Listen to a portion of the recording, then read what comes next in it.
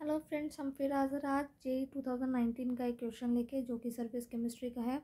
तो देखते हैं कि क्या क्वेश्चन है। So adsorption of gas follows Freundlich isotherm adsorption isotherm so जैसे ही एक आपके पास एक सरफेस है, उसके ऊपर जब गैस एड्जॉर्ब होती है, एक किसी पर्टिकुलर टेम्परेचर पे आइसोथर्म का मतलब होता है सेम टेम्परेचर आइसो मतलब सेम थर्म मतलब टेम्परेचर तो एट अ पर्टिकुलर टेम्परेचर जब किसी सरफेस के ऊपर गैस एड्जॉर्ब होती है तो मेन पॉइंट है कि वो कितनी गैस एड्जॉर्ब कर सकता है। तो उसका जो एड्जॉर्प्शन रेशियो है, वो प्रेशर ऑफ़ द गैस से कैसे रिलेट करता है, ये फ्रेंडलिक आइसोथर्म हमको बताता है। देर डिफरेंट टाइप ऑफ़ थम्स आइसोथर्म्स उसमें से एक है फ्रेंडलिक आइसोथर्म्स जो मोस्टली हम यूज़ करते हैं। In the given plot X is the mass of the gas adsorbed on the mass of the adsorbent that is the surface right तो हम मान लेते हैं कि एक्स जो है वो क्या है? अमाउंट ऑफ़ गैस है, या मास ऑफ़ गैस है जो अब्जॉर्ब हो रहा है।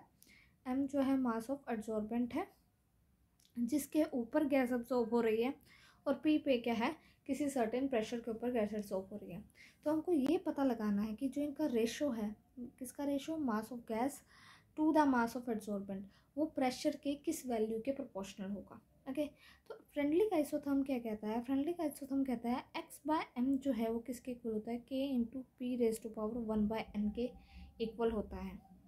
सो so, ये जो रिलेशन है ये किसी इंटरमीडिएट प्रेशर पे ऊपर एग्जिस्ट करती है। अगर मान लो प्रेशर बहुत ही ज़्यादा लो है तो ये सिर्फ़ पी के इक्वल हो जाता है। It means that P one by N जो है वो सिर्फ़ पी बन जाता है। तो एक्स बाय एम जो हो जाता है वो के पी हो जाता है। और अगर प्रेशर बहुत ज़्यादा हाई है तो ये कांस्टेंट हो जाता है मतलब सिर्फ़ कांस्टेंट अमाउंट ही एब्जॉर्ब कर पाएगा, चाहे कुछ भी प्रेशर हो, उसका कोई मतलब नहीं है। लेकिन अगर प्रेशर बहुत लो है तो वो लीनियर रिलेशनशिप हो जाती है प्रेशर के साथ। पर अभी हमें देखना है कि इसके साथ लीनियर रिलेशनशिप है या कुछ और है। ओके सो उसके लिए हम क्या करेंगे? अगर आप ध्यान से देखें तो वाई एक्सिस पे लोग एक्स बाय एम है और एक्स एक्सिस पे लोग पी है। ठीक है? तो आपको क्या लेना है?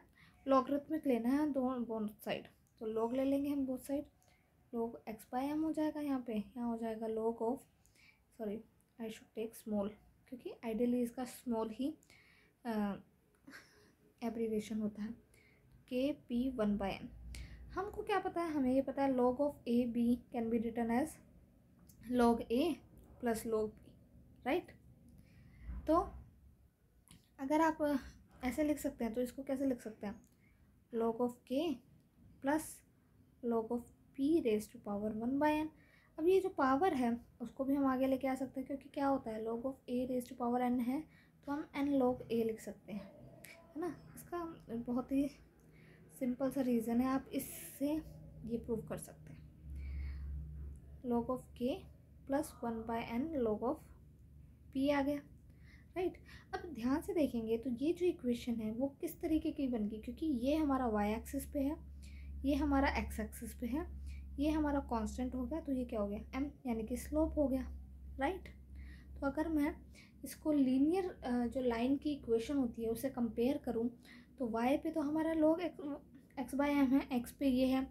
तो एम जो होगा, यानी कि जो स्लोप होगा उस लाइन का, वो मेरे को क्या दे देगा? वन बाय एन वैल्यू दे देगा, यानी कि मुझे बता देगा कि प्रेशर की किस पावर पे वो डिपेंडेंसी है ना? तो अब हम स्लोप कैसे निकाल सकते हैं? तो किसी भी लाइन का स्लोप, जैसे यहाँ पे ये लाइन है लोग एक्स बाय एम ये है लोग पी और या सो ये है टू यूनिट्स और यहाँ पे है ये four units right so in the, इन दोनों पॉइंट्स के बीच का जो डिफरेंस है वर्टिकल में वो है टू यूनिट्स और हॉरिजेंटल में है फोर यूनिट्स तो जब भी हम स्लोप निकालते हैं स्लोप ऑफ़ अ लाइन कैसे निकाल सकते हैं?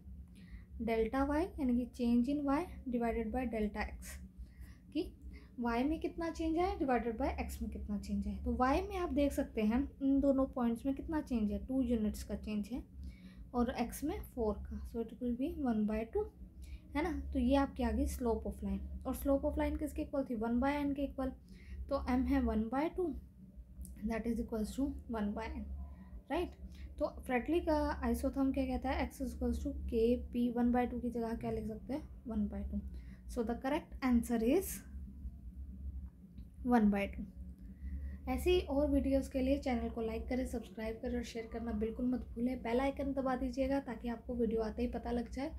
और हम जल्द ही लेक्चर्स भी स्टार्ट करने वाले हैं तो जो भी टॉपिक आपको पहले करना है प्लीज़ उसे कमेंट सेक्शन में राइट कीजिए। Thank you bye bye take care